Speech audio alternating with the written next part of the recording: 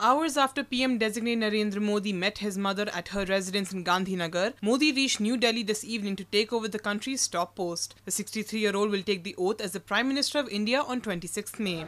The PM designate will stay at Gujarat Bhavan before moving on to his new home, the Prime Minister's residence at 7 RCR in Delhi. Yesterday, Modi resigned as the Gujarat Chief Minister and left the state which he has ruled for 13 years.